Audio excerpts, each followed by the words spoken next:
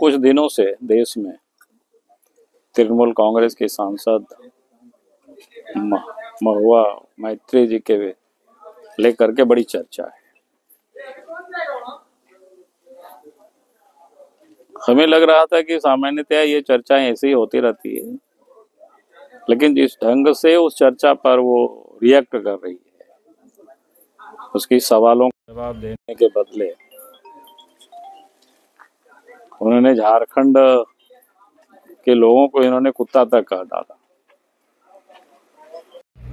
तो ये झारखंड जनता का एक प्रकार से अपमान है। तो हम हेमंत सोरेन जी से चाहेंगे उस पर अपनी स्थिति को स्पष्ट करना चाहिए, क्योंकि एनडीए गठबंधन के वो एनडी जो गठबंधन है, उसके एक प्रमुख सदस्य है हेमंत सोरेन जी। और महुआ मैत्री तृणमूल कांग्रेस के सांसद है।